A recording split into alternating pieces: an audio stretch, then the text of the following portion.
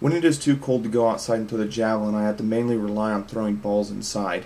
I intend on working my way up to throwing a 3 kilo ball as the months go by to build up a lot of power and strength in my shoulder, and then working my way back down to 800 grams to build up speed in my arm. Another thing I do is overs, unders, and back overs to build up rotator cuff strength. In the weight room, my strength is building up. I'm push pressing 225 pounds, getting stronger on straight leg deadlift, and getting back to where I was last year on close grip bench press.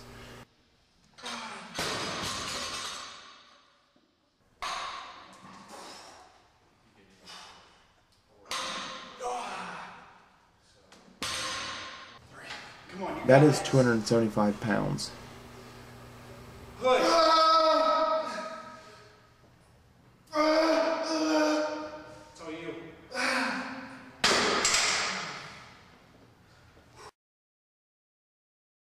Ball circuits are really good. You can mix a lot of different stuff in to build up core strength and explosive power.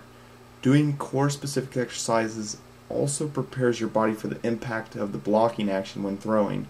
You need strong core strength to protect your back.